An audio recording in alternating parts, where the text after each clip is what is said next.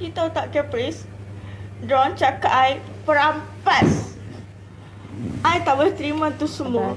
perkahwinan saya. Saya tahu majlis perkahwinan saya telah uh, menyebabkan satu kekecohan kekecohan berlaku dalam alam maya.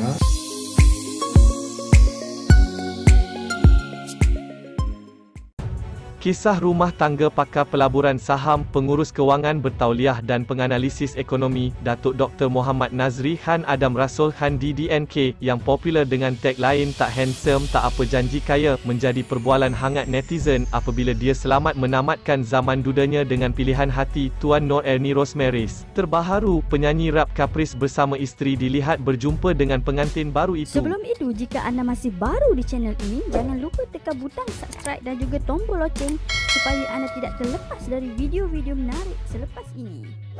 Menerusi hantaran di Instagram, Caprice mengakui bahawa dia berasa buntu untuk menasihati pakar saham serta isterinya berhubung kontroversi yang melanda pasangan itu baru-baru ini. Di dalam video berkenaan turut kedengaran Ernie meluahkan rasa kecewa sambil menghempas bantal ke lantai apabila dituduh sebagai perampas rumah tangga orang selepas berkahwin dengan DDNK. Bagaimanapun, hasil pemerhatian pihak media, video terbabit telah dipadam selepas beberapa jam dimuat naik.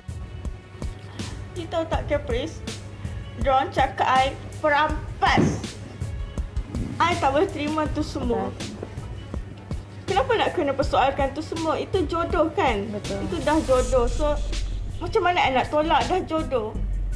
And then, you tahu tak diorang cakap I tak cantik tak apa janji manja. So, Caprice macam mana you handle semua ni?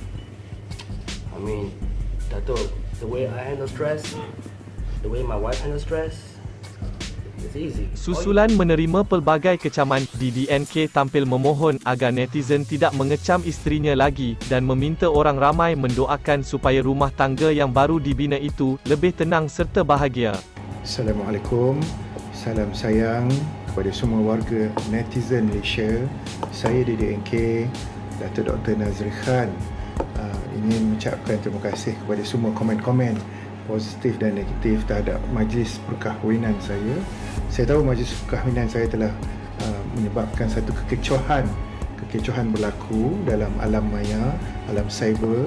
Uh, saya ucapkan terima kasih. Uh, cuma saya mohon kepada semua warga netizen untuk memberi sedikit wang kepada isteri saya, uh, Tuan Ernie, supaya dia tidak dikecam. Ya. Uh, dia masih lagi berumur 25 tahun, uh, seorang student. Mudah-mudahan uh, dia boleh survive dengan apa yang berlaku. Dan kita minta uh, mudah-mudahan ya, uh, semua orang doakan ya, uh, perkahwinan kami insya-Allah lebih bahagia, uh, lebih tenang dan mudah-mudahan kita akan terselamat daripada sebarang tribu- tribulasi. Terima kasih.